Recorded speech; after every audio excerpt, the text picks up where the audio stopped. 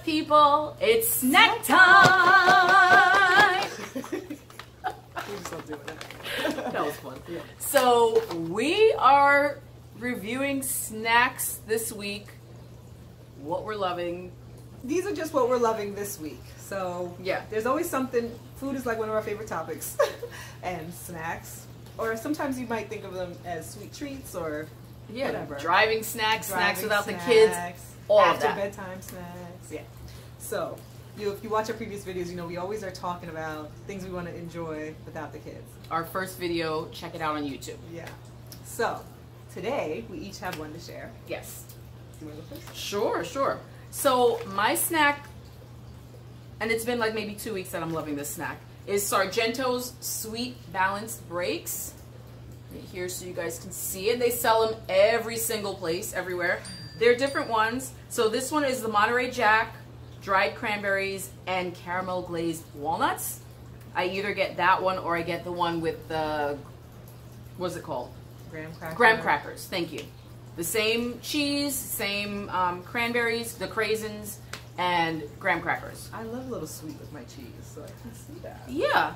Good. And the thing is, like, so my kids, because they each have different taste buds or, you know, what they like changes so often. So when I'm eating these, one will take the cheese, one will take um, the craisins, and they'll leave me with walnuts, or I can just sneak away and have my own. Which is why sometimes you need them for driving and for after bedtime when Yes. you want to eat the whole thing and enjoy it In together. peace and quiet.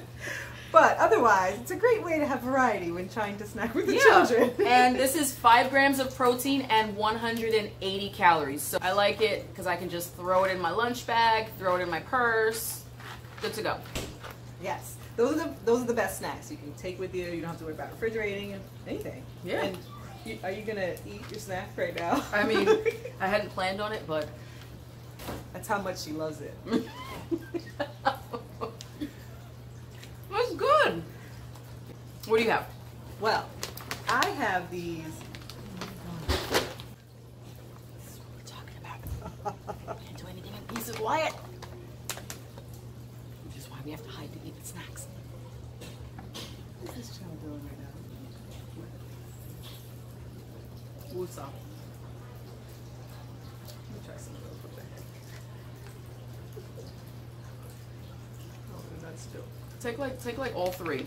Try try the. But there's only one last cheese I can have. It's fine. The beautiful thing about these is that they come three in a pack. So you can share with the kids and still have one to sneak away and eat.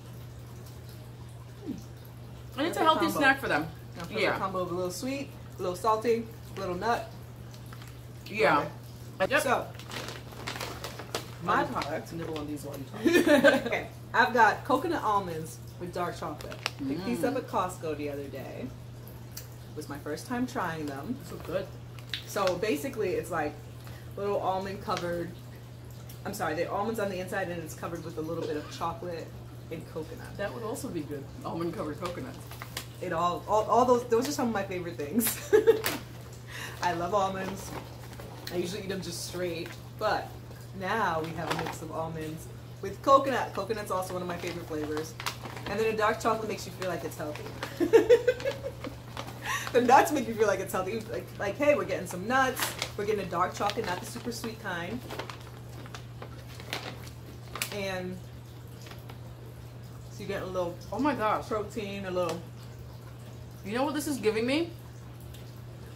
I love almond joy, but almond joy is milk chocolate, not dark chocolate. But it doesn't This is giving me mounds, but with the almonds. And I don't usually Oh like God. dark chocolate, but whatever combo they made here, it's pretty good. Because Oh I'm not a dark chocolate fan. But This is really giving me Is it what almond joy. I like it. and oh, a tip if you do get this, it's in a nice resealable bag, which is great. But it's a pretty big bag. You probably won't want to eat all of it. I would not suggest that you do that. Take some and walk away from Take the some and bag. walk away. Reseal. what I've done in the summer is kept it in the refrigerator.